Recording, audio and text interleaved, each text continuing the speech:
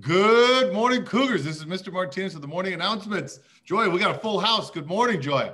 Good morning, everyone. There's so many people. Yeah. Good morning, Jake. Good morning, Kaleb. Good morning. Morning. All right, guys. Listen, we got a brand new flag this morning. Kaleb is our uh, going to lead us in our, our Pledge of Allegiance. This flag was submitted to us by Dylan in the kindergarten.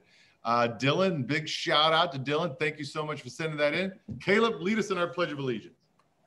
I pledge allegiance to the flag of the United States of America and to the republic for which it stands, one nation, under God, indivisible, with liberty and justice for all. All right. Good morning. Thank you again, Dylan. Happy Monday, everybody. Today is January 25th, 2021. Uh, we had a little rain on Saturday and then beautiful sunshine uh, yesterday. And outside now it's really wet. Looks like it rained last night. We're going to have a high of 54 degrees. So that temperature's come way down, huh, Joya? Mm-hmm. Remember, it was it was the 80s like uh, Yeah. a week ago. Last week. Yeah, just last week. We're seasonal weather.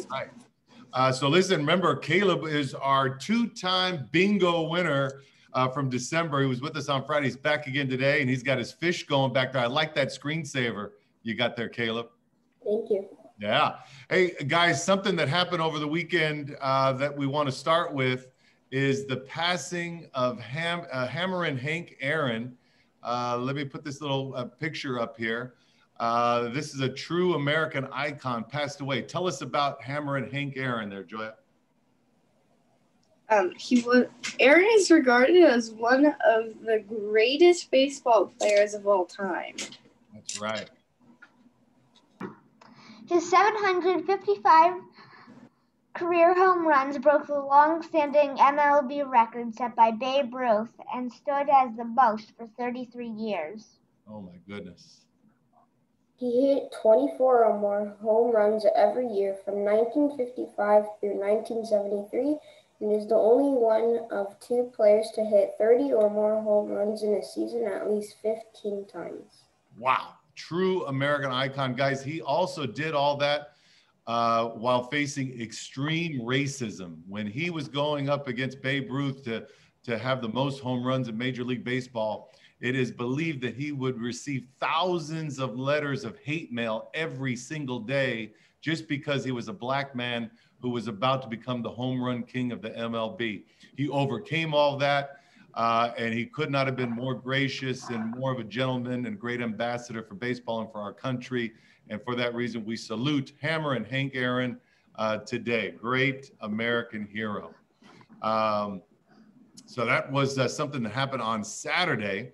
And that's actually uh, part of history, right, Jake? And Jake's Yeah. every Monday to talk to us about Jake's Jawesome Week in history. What do you got today, Jake? Um, let me pull it up.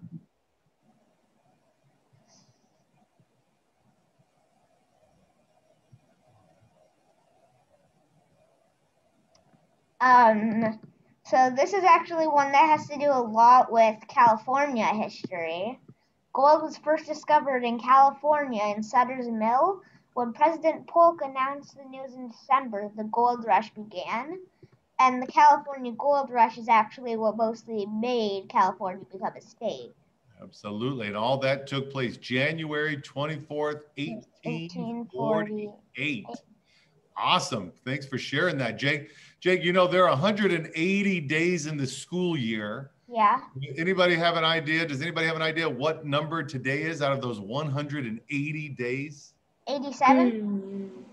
80s, it is 87, and we're almost at the halfway point.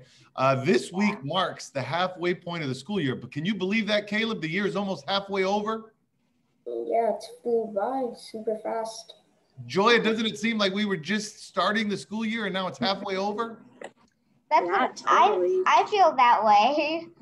So, um, but I Jake, also what- feel what- like we should be further in the school year. oh, you think you think we should be almost done? Well, Yeah. Jake, I know you've got a little surprise for everybody Yes, about the I halfway do. point. Why don't you share that now? Jake is going to take us on a little trip down the first half of the school year. So, um, we have a look back from August to December. Schools go online for a full year because of COVID 19 for the first time ever. Makes me sad to hear that. In the United States, um, we had a few things happen. There were Black Lives Matter protests. Um, our so one of our Supreme Court justices, um, Ruth Bader Ginsburg. Ginsburg, died. The United States got the highest um, people that had highest confirmed cases of COVID.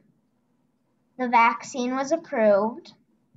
Um, ballots were counted for the for the presidential election, and we got a new president and vice president. I have a picture of the vice president here. All that took place in the last six months, huh? hmm In California, it got the highest COVID in. LA got the highest in California, and California got the highest in um, the country for COVID 19. The Lakers won, Woohoo! and the Dodgers won. Woohoo!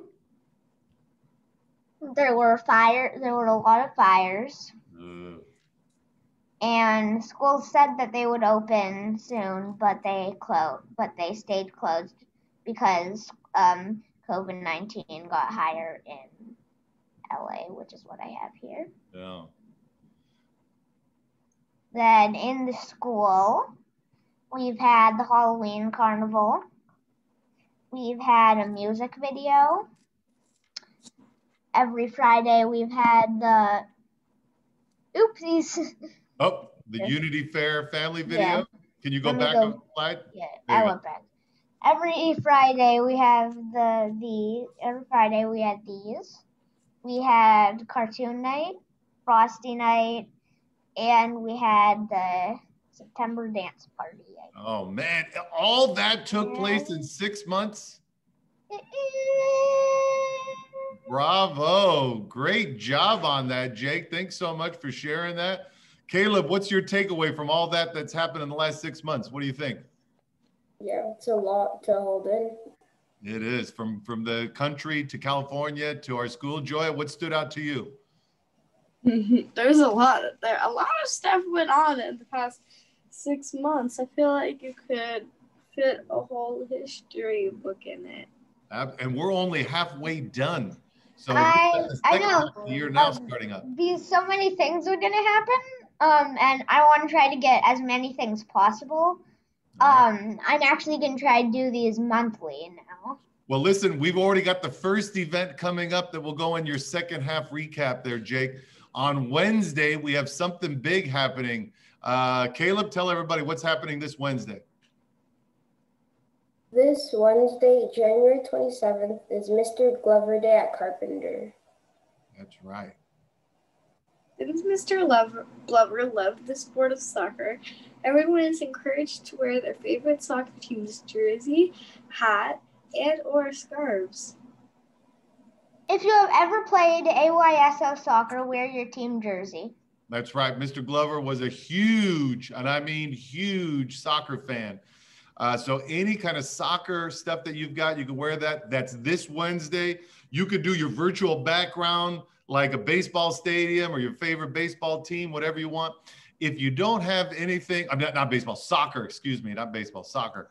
Uh, if you don't have any soccer related clothing, you could just wear a nice dress shirt because Mr. Glover always wore a nice collared shirt, long sleeve press shirt. We want to celebrate him this Wednesday. That's January 27th for Mr. Glover Day. And remember, we're still collecting offerings for his family. If you have a card or a letter or a piece of art you want to send in, mail that to the school. And then we're going to be delivering those uh, very soon. Guys, let's do our words of wisdom now. Everybody ready? Yeah. Boys and girls, have you ever been eaten up with guilt? Have you ever felt so bad about something that you did or said that you couldn't think about anything else? Well, the character from the great book, Huck Finn, he says, Conscience takes up more room than all the rest of a fellow's insides. If your conscience is bothering you, talk with someone you trust and find a way to mend the situation the best way you can. Then remember this Filipino proverb A good conscience is more valuable than wealth. Remember, if you keep your conscience clear and always try to do the right thing, you'll live a much richer life. Well said. With something to think about. This is Mr. Martinez. And Joya. And Jake, And Kaleb, Make it a great day. or not. The choice is yours. Kaleb, we've enjoyed having you the last two days. Remember, we got Carmina coming up tomorrow. Kaleb, do you have any final wishes for uh, for all the students at our school before you sign off? Yeah, my wish is that we can all come back to school and have a great time. You know what? I'm right there with you, Kaleb. Thank you for sharing that, buddy. Jake, you did an amazing job on your first half recap of the year. thanks. Very proud of you. Joya, have a great day at school, and we'll see everybody back here tomorrow for the morning announcements. Have a great day, guys. Bye. Bye.